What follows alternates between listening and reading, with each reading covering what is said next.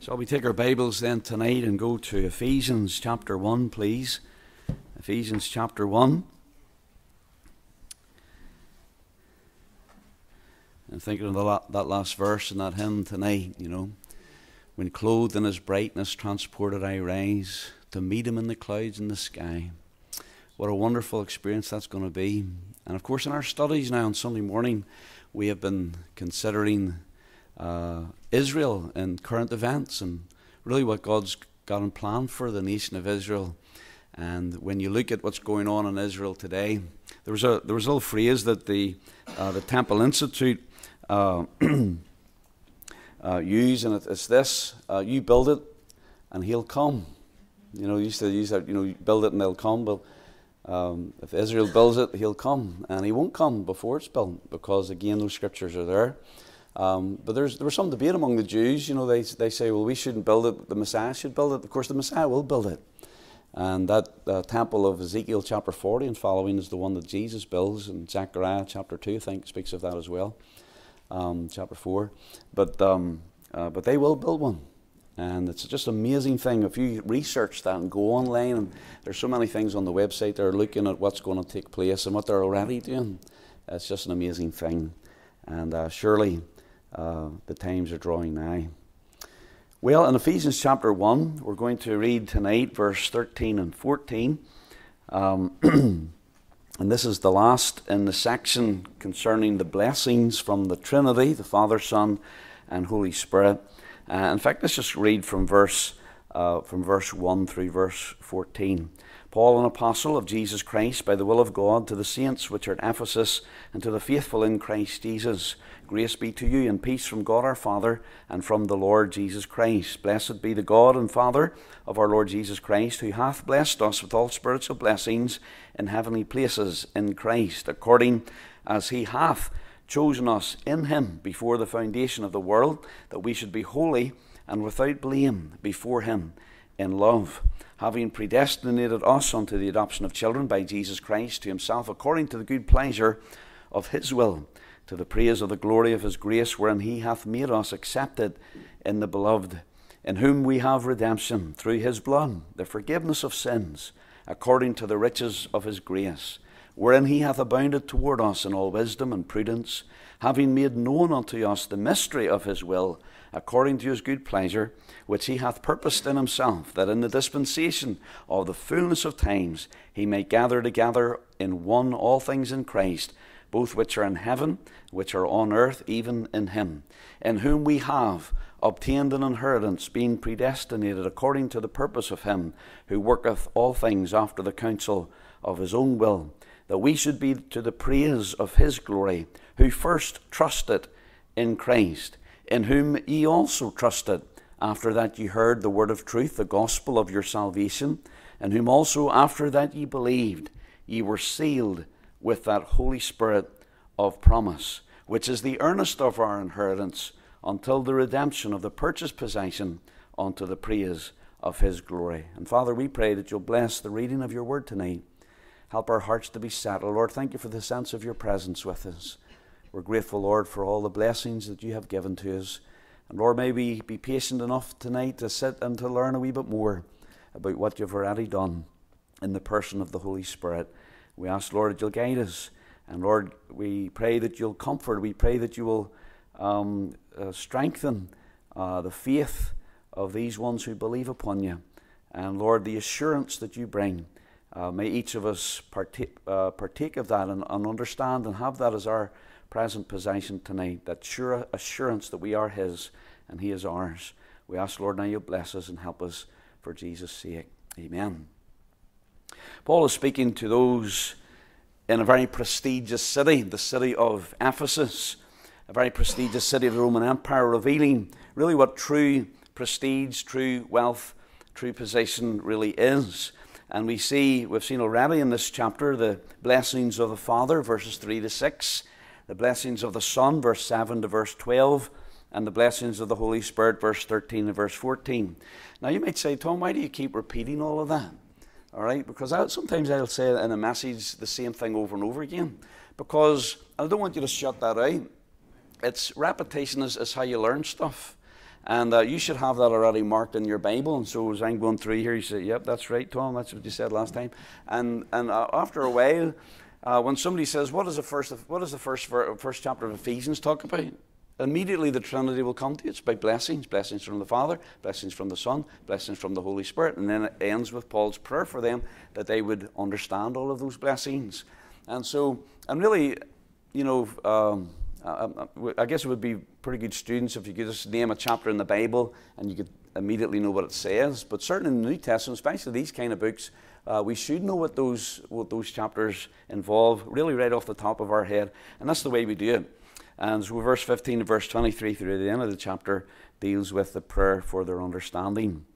Now, what this is really all about in these, in these first verses of chapter 1 is it's, it's really about explaining our salvation, explaining what happened to us when we got saved. It's the blessings that God has blessed us with, and all those blessings are found in Him, in Christ. Well, that's, that's speaking about our salvation. When we believed upon Christ, we were placed in Him. And all these things, even the election and the predestination, they're not the causes of salvation.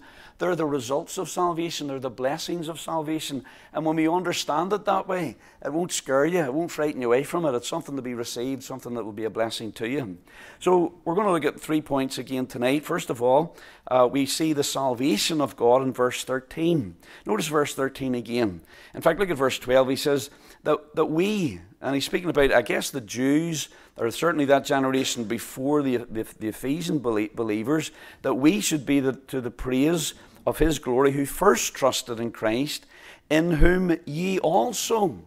And you notice the word ye there, that's plural. He's speaking to them as a group, and it could be that he's, that he's speaking to them primarily as the Gentiles because the first generation that get saved were Jews, and now the Gentiles have received Christ in whom ye also, also as well as the Jews, have trusted, after that you heard the word of truth, the gospel of your salvation. He's speaking about salvation, the gospel of your salvation. Now, the word, the word gospel mean, means, of course, good news. And that's what salvation is. Salvation is brilliant news. It is the, most, it's the best news in all the world that we can be reconciled to God, that we can be brought into right relationship with our Creator, that we're going to go to heaven when we die. That's the gospel, that's the good news. And, and don't, don't muddy that up. There is a message that says that you can know for sure that heaven is yours. You can know for sure that you are redeemed, that you are reconciled, that you are right with God. You can know it for sure, not based upon your works or your merits, but because of your position in Jesus Christ. And he says that we are saved. We noticed this last time.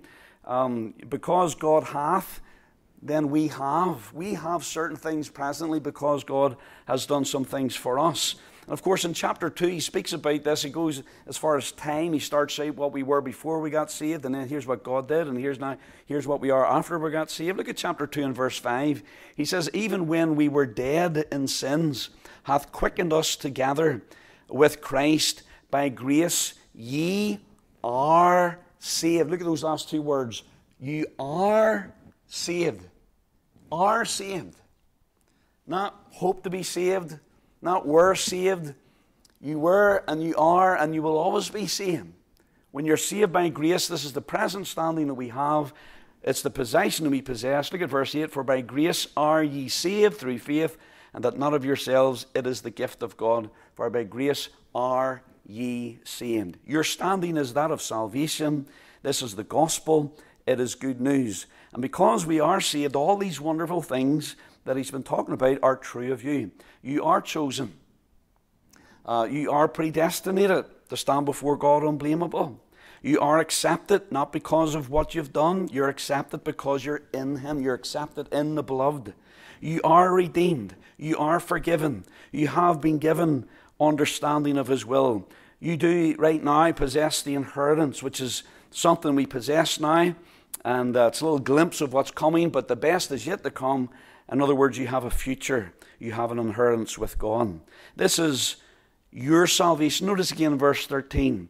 He says, the gospel of your salvation. This is something that is personal, it's something that you possess, and it's something he delights in explaining to these believers. Now, why does he need to explain all these things? You know, most people, when they get saved, don't understand all this stuff. I didn't. In fact, when I first got saved, I didn't really know that it was, I guess I never really thought about it. It wasn't explained to me until later on, a few weeks later on, that once you get saved, you're always saved. I didn't know that. It never really occurred to me. I was just so excited about being saved, you know, and all those questions really hadn't hit me yet. Um, but he needs to explain these things as we need to uh, understand what happened to us when we got saved. Now, we, he goes on to talk about this salvation. The salvation of God is something that comes through trust or belief. And I think these, these verses are so important. He's speaking about salvation, and at this point, he's explained to us how we got it. He's reminding us how we got it. And in verse 12, he says, Who first trusted in Christ. That's how you get saved. You get saved by trusting in Christ. He says the same thing in verse 13. He says, In whom you also trusted. After that, you heard uh, the word of truth, the gospel of, our, of your salvation, in whom also after that ye believed. Now, belief and trust is the same thing. Again, salvation that comes uh, through faith, it's not an intellectual faith, it's a heart faith, it's a, it's a belief that is expressed in the sense that we are trusting Him. We're taking our soul and placing it in His hands. We're trusting Him that He will keep His word, His promise, that He indeed will, will save us. And so this is a matter of the heart. Now, obviously, it involves the mind too, because we must hear the word of truth. Faith comes by hearing, and hearing by, by the word of God. So there's a message we've got to hear, we've got to understand. Our mind kicks in. Uh, but that won't save us. Just understanding the gospel won't save you. It's trusting the gospel, it's trusting Christ, it's trusting what it says. Uh, it is faith that saves you. It is the heart that believes unto righteousness. It is the heart, heart belief and trust that saves. Now, I understand that to mean, and this is important because in these verses, when he explains this, he doesn't talk about anything else. He doesn't talk about baptism. He doesn't talk about faithfulness. He doesn't talk about um, you know, membership in the church. And there, there are other things involved. For example, the Bible, and we talked about it at length this morning about repentance, but he doesn't mention repentance. The Bible also talks about confession in Romans chapter 10, but here he doesn't mention confession. Now, why is that? Because I believe that repentance and confession and faith, if you like, are, um, are, are one and the same. If a person truly believes, then repentance is something that comes with that. He doesn't mention it here, but he doesn't have to mention it here. Um, because if a person truly, but what is, you know, repentance is it's a, it's a change. It's a change of your mind. It's a change of direction. It's a decision that is made. You're going this way. You stop. You turn around. And that happens because we believe. And also confession. Confession means to agree with. The Bible says if we confess our sins, He is faithful and just to forgive us our sins. And that's speaking about Christians, but Christians have to own up. Christians have to say, God, you're right and I'm wrong. Um, about my sin, Lord, I confess my sin that I'm wrong in this and I'm wrong in this. Lord, you're right and I'm wrong. And so confessing God is agreeing with who He is. Now, I want you to go to Acts chapter 10 for just a moment. Because this is important, and here's the reason why it's important. We get a little paper through the, the mailbox. Um, I forget what it's called, Hearts and Homes or something. It's for, from the Church of Christ. Anybody ever get that? It's a little magazine, comes from the Church of Christ. Everybody in Smithville gets it, some of you down here. And usually in, in their little magazine, they have a list of things. And so the list goes like something like this. Maybe I should have brought one in, but it goes something like this Repent, believe, confess, get baptized, be faithful, endure, serve, or something like that. And so they got this list, and this is what this is their way to salvation. This is how they promote it. This is how you get saved. Repent, believe, confess, baptism, faithfulness, and they've got their list.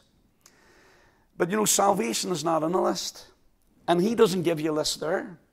And when you come to chapter 10 of Acts, there's a man by the name of Cornelius. And when Cornelius gets saved, there's no list. And it doesn't mention, in fact, it doesn't even mention faith, to be honest with you. Uh, look at Acts chapter 10. Now, Cornelius was a devout man. He was a, a Jewish proselyte. He was uh, one who prayed to God to give alms. And he was truly in his heart seeking light.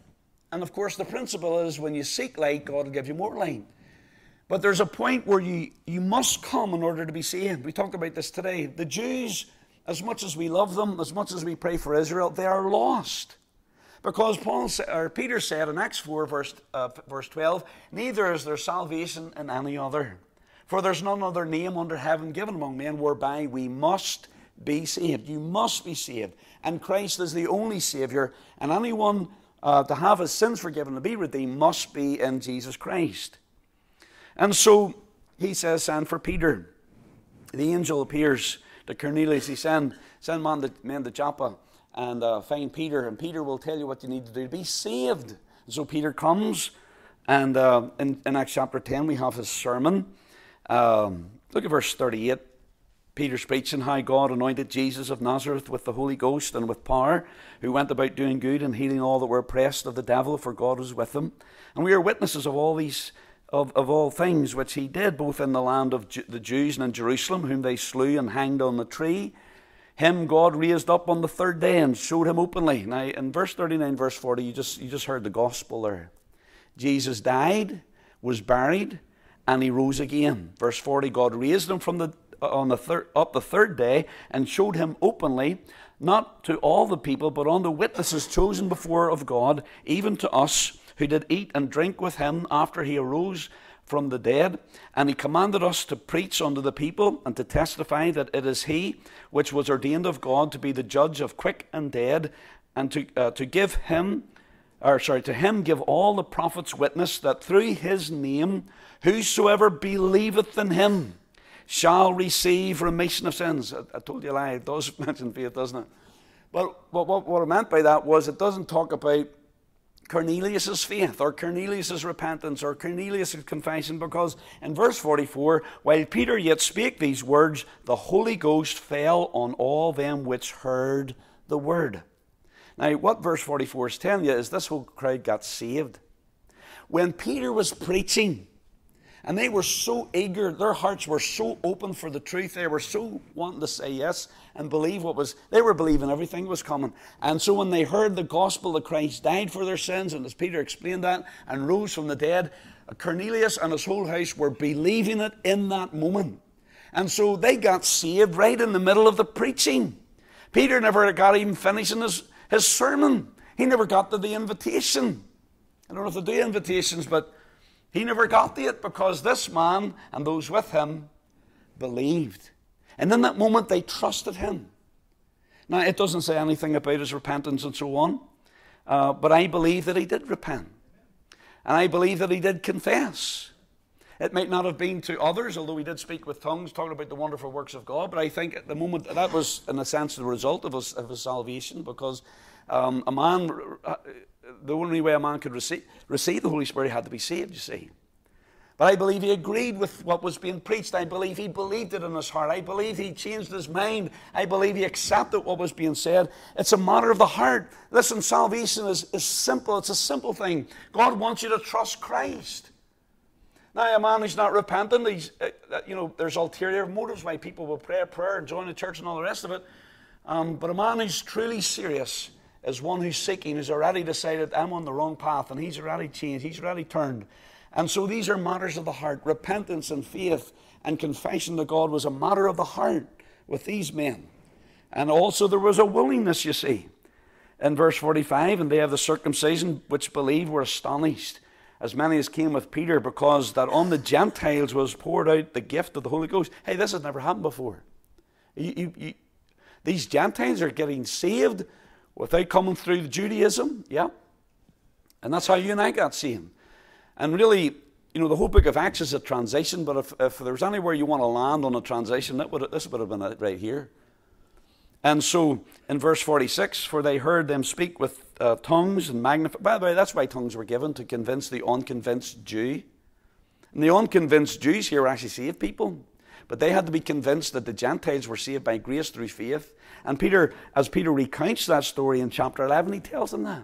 In fact, uh, if you look over at verse 15, he's recounting this story. And as I began to speak, the Holy Ghost fell on them. This is chapter 11, verse 15.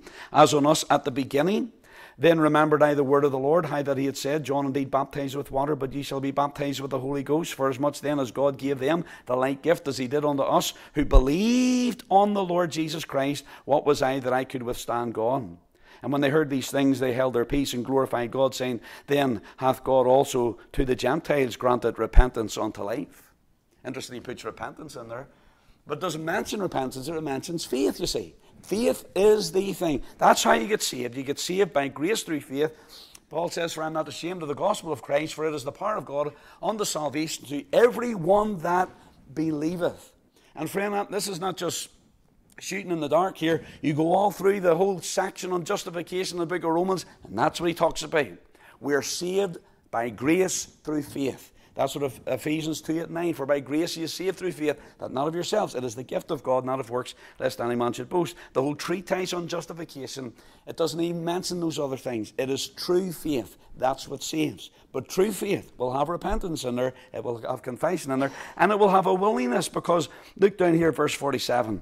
Uh, Peter says, uh, Can any man forbid water? That these should not be baptized, which have received the Holy Ghost as well as we. All right, now that's the Campbellites have a real hard time with the Church of Christ a real hard time with that because there's no way that you can say that these people were not saved because they had the Holy Spirit. Only saved people have the Holy Spirit and they weren't baptized yet. But there was a willingness to them. And truly, I believe when somebody gets saved, and this is some sort of real issue in their past or something, when somebody gets saved, there is repentance, there is faith, there is confession in their heart, and there's certainly a willingness to get baptized. There's, there's a softness there. There's a new creature that is created on the inside. But how does it all happen? It happens when we trust Jesus Christ. And that's important because people come and they say, Well, have I repented enough? Have I repented hard enough? Have I believed? Do I believe enough? Have I confessed enough? And their whole philosophy is wrong. Forget about all that. You come and you trust Christ. And when you trust Christ, that's, that's the key that unlocks everything. So we see the salvation of God. It's not a matter of having a list, it's just trust Him. Secondly, we see the sequence of events. Go back, please, if you would, to Ephesians chapter 1. And the interesting thing that we notice here, if we read it carefully, and um, I, I love Bible study. Solomon said in much study that it's a weariness to the flesh, you know. Um, and it is in some ways. And sometimes I drag myself into my study. And it's like, you remember when you're in school and you're trying to do math? Now, once you get into doing math and you were doing it, you know, for 30 minutes or so, not that I was any good with it, but after about 30 minutes, you sort of get into the way of it and you were thinking that way and, and other things would, dis, you know, wouldn't be able to distract you because your mind was on. Same thing with Bible study. Sometimes you got to drag yourself to it, you know. But once you start into it, once you start unpacking things and look and connecting dots and stuff, it's great. It's really fun. It really is. And um, studying the Bible is, is um, it's interesting. And what, when you study the Bible, you, you, look for, you know, read the thing over and over and look for, look for what is it saying? Look for things that are uh, maybe that you're not normally thinking about. Um, and as you read this, basically what you see is their, their sequence of events. In other words, before you got saved, the work of the Father has been accomplished. Uh, in other words, before we got saved, um, God the Father, He uh, chose certain things for us. Um, for those who would trust the Son, this is going to, what's going to happen to you. You'll be chosen, you'll be predestinated, you'll um, have an inheritance, and all these things are true. Um, and then Christ, of course, He died for us to provide that salvation. And so, uh, all that was done before we got saved. But the work of the Holy Spirit, now there is a work of the Holy Spirit that happens before we get saved, and that He he convicts you. He's in the world to convict the world of sin, righteousness, and judgment. He's there to woo you and to point you to Christ, and He certainly works in your heart. Um, but, uh, but really, the, the actual work of the Holy Spirit happens in your life after you get saved. There's actually a sequence of events. And now, notice, please, in verse, um, look at verse 13 again. He said, In whom ye also trusted. Now, notice the next word, after. After in other words, you trusted Christ, but some things happened before you trusted Christ. You trusted Christ after ye heard the word of truth, the gospel of your salvation, in whom also after that ye believe. Now, there's not a long period of time. There's not that you believe and then there's a long period of time and then you receive the Holy Spirit. If you look at the original context and the words and so on, um, it's, it's basically at, at that point when you believe. But you believe first, and then as a result of that faith, then the Holy Spirit does something. He says, You were sealed with the Holy Spirit of promise. Notice those two words after. Okay? So you heard the gospel. By the way, Romans chapter 10, verse 13 For whosoever shall call upon the name of the Lord shall be saved. How shall they call upon him in whom they have not believed? How shall they believe in him of whom they have not heard? How shall they hear without a preacher? How shall they preach except they be sent? So there's a sequence of events that takes place one after the other. And so it is here uh, in the ministry of the Holy Spirit. After that ye believed, ye were sealed with that Holy Spirit of promise. now, this is something the Holy Spirit does for you. The Father's already done some things. The Son has already done some things. You have to do some things. Your part is to trust. Your part, my part, is to believe. And then when we do that, then the Holy Spirit comes out. Almost like we're sandwiched, you know. The Lord has worked, and the Lord will work, and we're in the we're the meat in the middle. We make that decision that really brings all those things together home uh, to us. So what he says there in verse 13, he says, "In whom also after that ye believed, ye." Notice the ye, the word ye is again it's plural, speaking to the group. Ye were past tense sealed with the Holy Spirit of promise. Now, why did he need to tell them that? Because you know, a lot of Pentecostal churches believe that, okay, they'll, they'll say this have you, have you received the Holy Ghost since you've believed? And uh, we'll talk about that maybe a little bit in, in a little bit. But that's a question that Paul asked the believers in Ephesus in Acts chapter 19 who were the disciples of John the Baptist. Now, why did he ask that? Because that's not a legitimate question for today. Understand that that's a transitional period of time. You had Old Testament believers, okay? I believe that they were saved under John's ministry and uh, that they hadn't actually even heard the, the, the, New Testament message of the gospel yet. Uh, and whatever, whatever you believe about that, it was a transition period of time. That is not a legitimate question for us today. You can't go to a Christian and say, you know, have you received the Holy Ghost since you believed? But some churches will teach that. And, and they'll convince you because you haven't had this sort of experience that they'll sit you down here and put their hands on you and pray that you'll receive the Holy Ghost. And then they're looking for evidence of that receiving the Holy Ghost and speaking in tongues and so on. Well, why then did Paul need to tell them what happened to them? He said, After that you believed, ye were sealed with the Holy Spirit of promise. Why did he need to tell them that? Because receiving the Holy Spirit is not an experience. You say, Well, you just read Cornelius and he spoke in tongues. Yeah, because he had to convince the Jews that the Gentiles. You see, speaking in tongues was a sign. God was helping people to understand that He was doing something different. There's a transition, changing gears. Now the Gentiles are getting saved without becoming Jews first. That never happened before. God's going to put a mark on them. And so some of the gifts were there as sign gifts to convince people of what God was doing. That's not true today. And so He needed to tell them that so that they would understand the blessings that they have in God because being sealed with the Holy Spirit is not an experience, it is a fact that takes place when you believe. The moment you believe, you are sealed with the Holy Spirit promise. And it's not something you feel. It's not something you're, you know, going to experience. It's not, it's not going to be some uh, ecstatic experience or speaking in tongues or anything like that. They weren't. They didn't have any of that. He had to tell them what happened to them, explain what happened to them. Now, the, the um, and by the way, he said all of them. And, and you find this, and we're going to look at some, in fact, let's just go to our, our last point.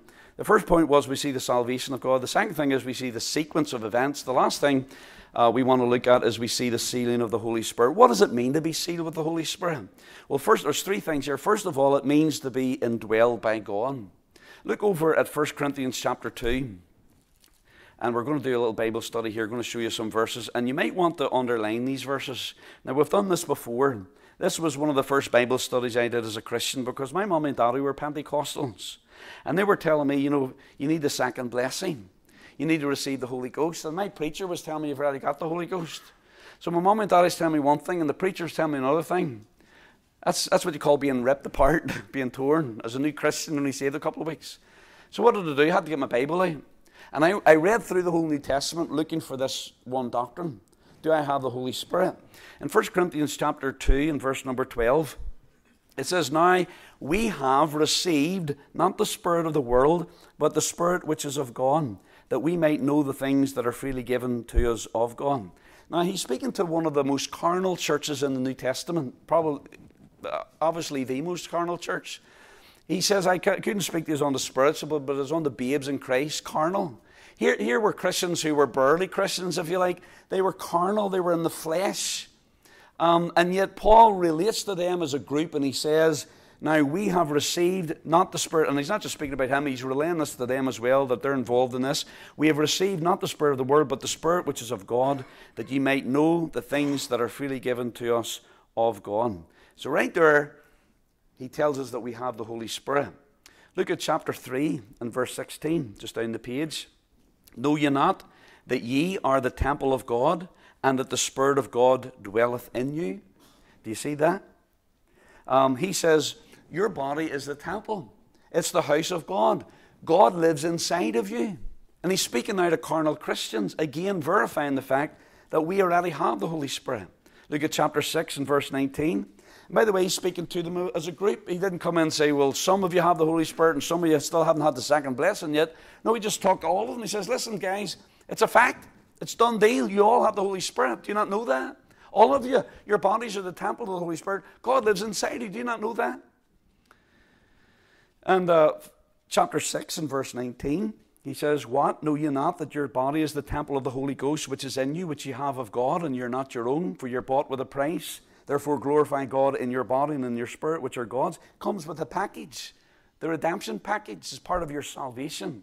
Look over at chapter, sorry, 2 Corinthians chapter 1. 2 Corinthians chapter 1. The sealing of the Holy Spirit is the indwelling of the Holy Spirit. The Holy Spirit comes into you. Again, it's not an experience to be sought, it's a fact to be understood and accepted. In 2 Corinthians chapter 1 and verse 21, he says, Now he which establisheth us with you in Christ and hath anointed us. Well, that's another, that's another way of saying the same thing. Anointing, and uh, uh, John says in 1 John that we have received the, anoint, the anointing of God. All right? The anointing of God is the Holy Spirit coming into you. And uh, he says, uh, and hath, past tense, anointed us is God, verse 22, who hath also sealed us and given the earnest of the Spirit in our hearts. Okay, so there again, it's a past tense. We have been anointed, we have been sealed, we have been given the earnest of the Spirit in our hearts. Look, if you read at chapter 6 of 2 Corinthians in verse 16. And we're not going to give you all the verses because there's probably about three times more verses that I found, um, really starting from about Romans chapter 8 and verse 9. If any man have not the Spirit of God, he's none of his. In 2 Corinthians 6 and verse 16, he says, And what agreement hath the temple of God with idols? For ye are the temple of the living God, as God hath said, I will dwell in them and walk in them, and I will be their God, and they shall be my people. Wherefore come out from among them, be ye separate, saith the Lord. Touch not the unclean thing. So here they were touching the unclean thing. Here they were unseparated. He's telling them to get out, to come away from wickedness, to come away um, from uncleanness.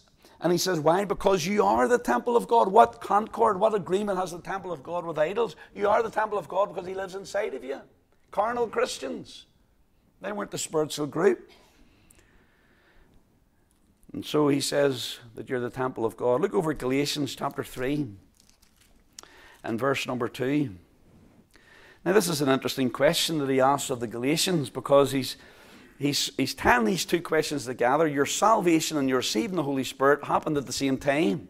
And how did you get saved? Same way. How did you receive the Holy Spirit? Same way you got saved. How did you get saved? Same way you received the Holy Spirit. It's all the one thing, and it happens by faith. Look at verse 2 of Galatians 3. He says, This only would I learn of you. Received ye the Spirit by the works of the law or by the hearing of faith? Are you so foolish, having begun in the Spirit? Are you now made perfect by the flesh? And he's basically saying, How did you get saved? You get saved by the hearing of the law? No.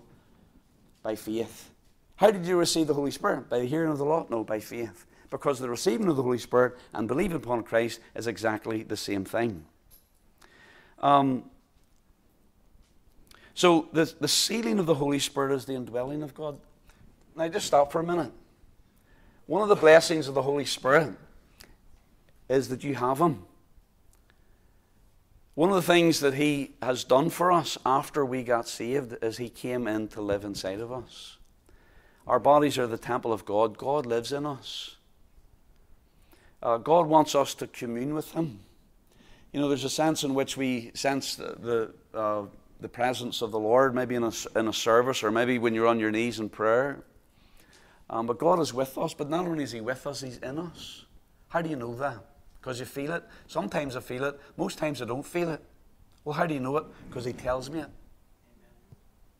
and believing what God says. I know that just the way I know that I'm redeemed, I know that I'm forgiven, and the way that I know that I'm predestinated, the way I know I'm chosen, because God has told me in His Word. That's why He wrote it. And that's why Paul wrote these things, so we would understand these things, to know what we have in God, in the Father, in the Son, and in the Holy Spirit. So the sealing of the Holy Spirit is the indwelling of the Holy Spirit.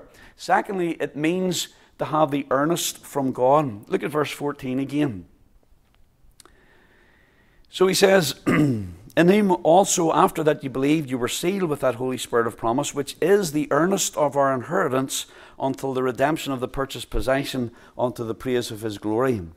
Now, the, the earnest is the down payment until the claiming of the purchased possession. Now, this is, this is a little bit different because, um, you know, I, and I use the illustration you're going to go buy a car and maybe you don't have the three thousand dollars or four thousand dollars in your pocket, so you go with three or four, maybe two hundred dollars or something, and you go to the guy, you see the car, I want the car, I want to buy the car, I'm going to go get the money, and he wants to know, are you in earnest? Are you serious? Because if I don't give him any money, I could walk away and say, you know something, I'm not really sure about that. Or on the way home, I see a better car and I buy it. And he's sitting here waiting. Some people, buyers are coming. I want to buy your car. And he says, no, it's, it's, the guy's already interested in it. How do you know he's interested? Well, I'll tell you why he's interested, because he opened his wallet up and he put $200 in my palm, palm of my hand. Now, that means the guy's really interested. He's not going to give me $200 and not come back. He's coming back for the car and he's coming back with the rest of the money. And so that's the earnest money. It means that you're serious. But there's a difference here. Because Christ didn't come and pay part of our fine and walk away and say, Well, I'm going to come back and pay the rest of the fine later on. You see, er, the earnest here is not really for the person who's receiving the money. In other words, the Father has been completely satisfied with the price that Jesus has made. And so this earnest is not to give the Father confidence. This earnest is to give you confidence, us confidence. And it's kind of like this. It's kind of like when, uh, when the servant of Abraham went to get a bride for Isaac and he comes to Rebecca and uh, he basically makes a proposal of marriage to Rebecca at the well. And uh, he starts pulling out these earrings, these golden earrings, and these golden bangles and stuff. Now, in their culture, she knew exactly what that meant. And he gives those things to her. And that's an assurance that this is not a fly by night thing. This is a serious offer, proposal of marriage. I want to go back to your house. I want to talk to your daddy about this. Are you open for it? And she's agreeable. So she goes back. And uh, the servant of Abraham gives to Laban gifts as well to give assurance to him that this is a real deal. So Laban needs to have assurance. Um, uh, was her brother Bethuel, was her daddy. The whole family got uh, got stuff, and uh, and Rebecca got stuff. Now, it's kind of like this. Rebecca could be the whole time that before she meets Isaac, and she's her, her, her, emotions are in a whirlwind. Here she's leaving her daddy's house to go to a complete stranger to be his wife, never met him before, where she's never going to go home again. She's going to live in his house for the rest of her life. That's a big step. But you know, and, and you know, and the fear and doubt could, man, I could. What are you doing? Are you mad? And then she looks down at her hand and she sees these beautiful, golden, ornate bracelets, and she says, "You know something." I don't know exactly what it's going to be over there, but when I look at this, I, I take delight in it now, but you know something? I know there's more where that came from. And that's the thing that gave her assurance. Now, of course, that's an illustration, and it's an illustration of um, the, the proposal that the Holy Spirit makes to us. Will you have Jesus Christ to be your Savior? That's the question they asked. Laban asked his sister. He says, Wilt thou go with this man? And, um, you know, he wanted to go. We got to go. We got to. And they said, well, we'll, we'll inquire at the damsel, see what she wants. And he said, Wilt thou go with this man? Such short notice. And she says, I will go. And so the Holy Spirit comes to us. He says, We have Jesus Christ to be your Savior. And there's all kinds of maybe uncertainty about that. But somehow we said, Yes.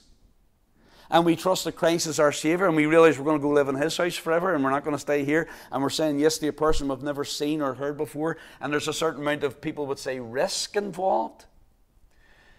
But in the moment we said yes, He gave to us the Holy Spirit.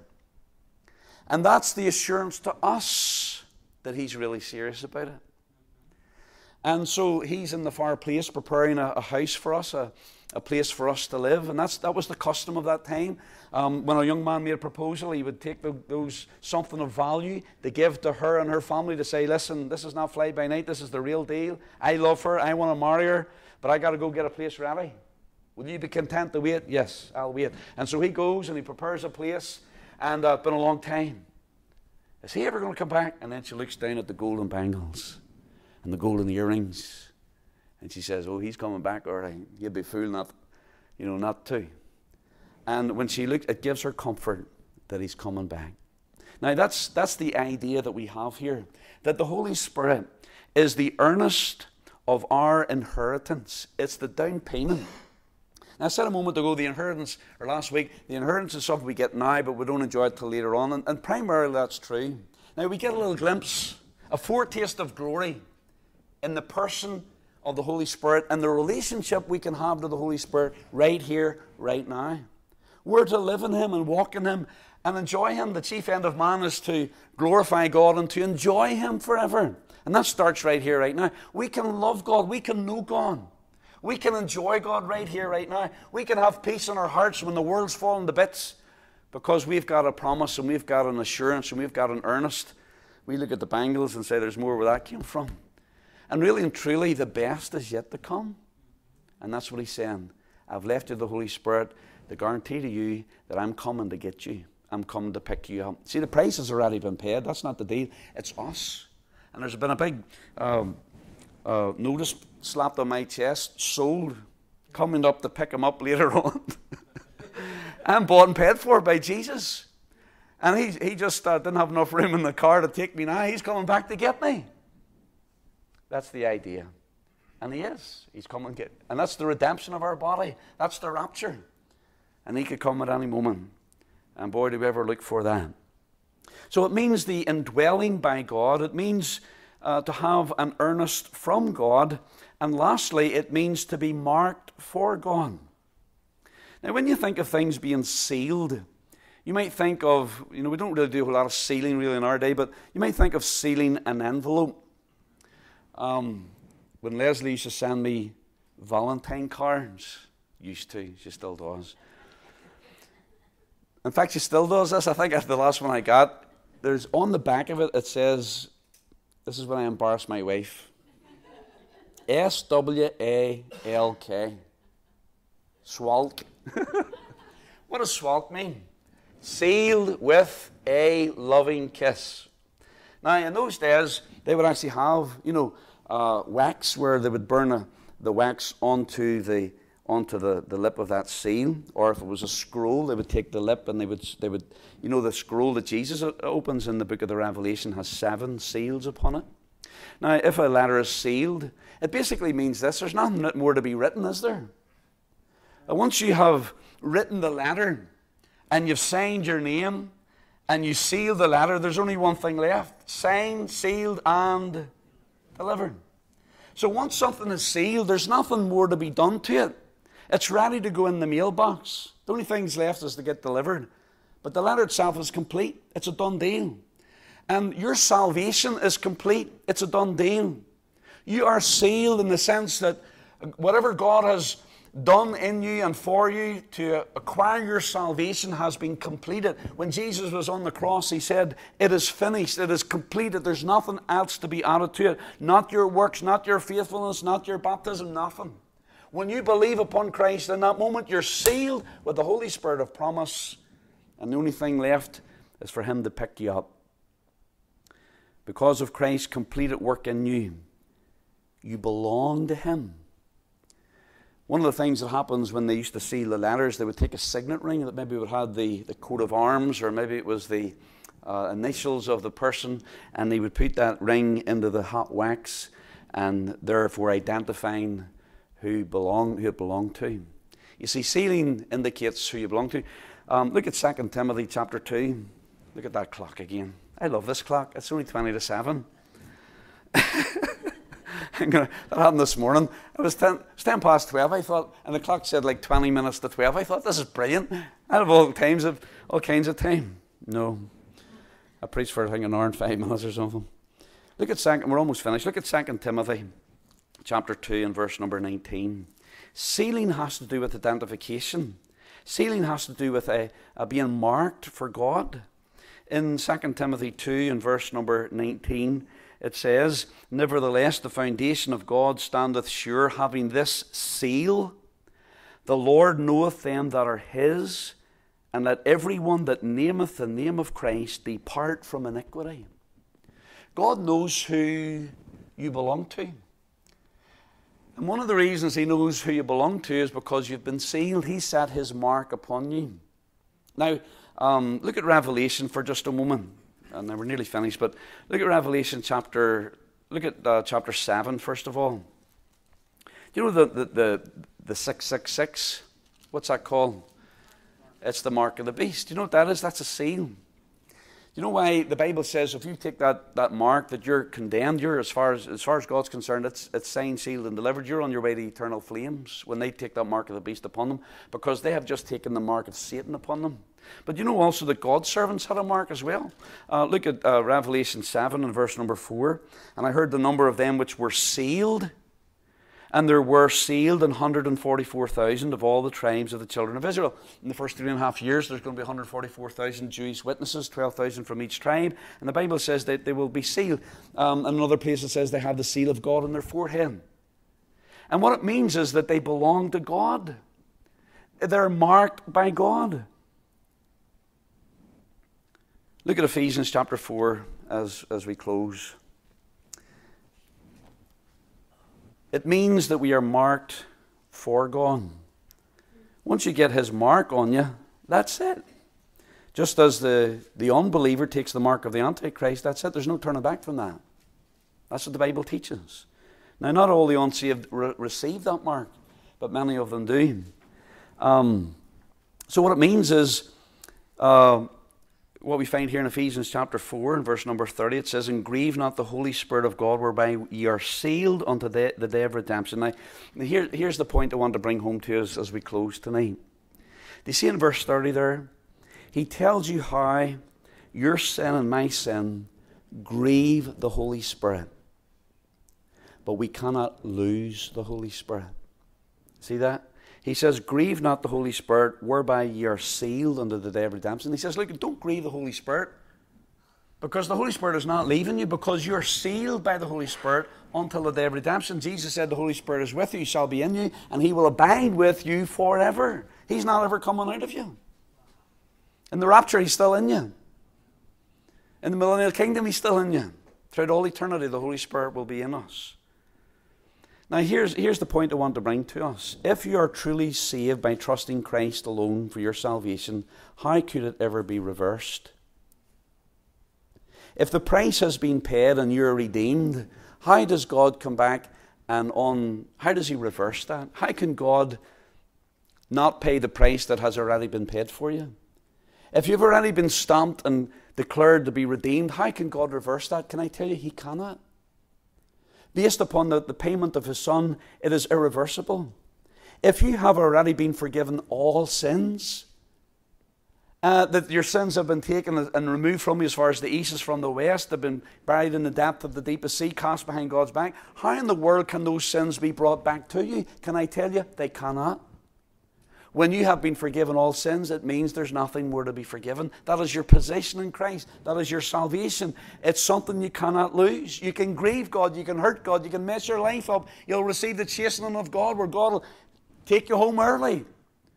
But you cannot lose that which God has done in your heart. If you have already been accepted in the beloved, how can you be unaccepted in the beloved? You didn't do anything to get accepted in the first place. It was the grace of God. And so, how can our sin reverse that? It cannot. If you have already been predestinated to a future, wonderful future, you have already been chosen to stand before Him blameless. If we've been predestinated to this wonderful inheritance that we're already seated, the Bible says in chapter 2, in heavenly places, we're already there. How can it be reversed? My friend, it cannot. And if you have been sealed and marked, and the down payment has been made, how can God reverse those blessings? How can you lose it? You can't. Well, is that reason then to go out and say, well, I can just live any old way I want? You know, to be honest with you, I don't really know any Christians that have that spirit. We talk about that all the time. I don't think I've really, now maybe you have met some. The ones that I believe uh, have that spirit of, of carelessness, they don't have assurance of salvation. Did you know that? They don't have assurance of salvation. But the ones who believe this stuff and say, you know something, I'm signed, sealed, and about to be delivered. I am secure in Christ. I know that I am. I know that I have eternal life. I know that I have a, that inheritance in Christ. I am so happy about it. I'm safe and secure in Him. Do you know what it does? It makes us love Him. It makes us say, fantastic, let's do something for God. That's what I see. And friend, that's the way it's supposed to be. Don't be afraid of the doctrine of eternal security. When they say, well, that's just an excuse, you live any way you... No, it is not. No, it isn't. It provides the security and the motivation and the love to love Him back. You know the, the greatest commandment is? Is to love the Lord thy God with all thy heart, soul, and mind. It's to love God. Let me ask you something. Do you love God? When was the last time you told God you loved Him? You ever just walk down the road and say, Lord, I love you? See all this business about your, your coming again? I can't wait. You know why I'm so excited about it? Oh, I want to see him, look upon his face. I want to see him because I love him. I want to see Israel receive him because I love him and I love them, and I love them because he loves them. The greatest commandment, the first commandment, the most important commandment is to love God. Why do you love God? Because when I read in this book, He has blessed me with all spiritual blessings in heavenly places in Christ Jesus. God has loved me. He has proved His love for me. He's done for me. He's, he has undertaken for me. He has saved me. He has redeemed me. He has cleansed me. He has forgiven me when I didn't deserve it. The wonderful, marvelous, matchless, unsearchable riches of His grace. That's why I love Him. And the more you look into that, and the more you find out how much He's done for you, and the more you find out how much you love Him, or He loves you, you'll not be able to help yourself. You'll want to talk to Him. When you've got a choice, a, a fork in the road where one way is going to lead you away from God and shame the Lord and shame you and hurt God. My friend, when you're loving God, you're going to say, No, rip the heart out of me to do that. No. I want to do right. Why? Because I love God. I want to do those things that are pleasing in His sight. It's a love relationship with Him and enjoy God, enjoy God. He is to be enjoyed. Don't rob yourself of these blessings by denying any of these truths because they are true. And He's written them that we might know the things that we have from Him. Let's bow together for prayer. Father, thank you for your wonderful love. Thank you so for so great salvation, for giving us your best in your Son. Lord, you do all things well, and everything you do is wonderful. And sometimes, Lord, we just skip over, we get used to it, it becomes commonplace to us. But Lord, if we just stop and for a minute and really look hard and look at what you've done for us, it's absolutely amazing. Grace is amazing. It's amazing grace. We should be astounded. We should be overjoyed. This should never become, become old hat for us. This is something that should just delight our hearts every day. We are rich in Christ. Lord, I pray that you'll encourage every believer here tonight. Maybe someone, Lord, who's not been really secure in that salvation. Lord, may they grab a hold of it tonight. It's theirs for the taking. You've told us what you've done. Help us to believe it. And then, if for someone, Lord, who's never truly just let go of all this other stuff and just trusted Jesus, and therefore receiving that assurance, Lord, help them to do that right now. Right now. And Lord, we love you. Thank you for loving us. In Jesus' name we pray. Amen.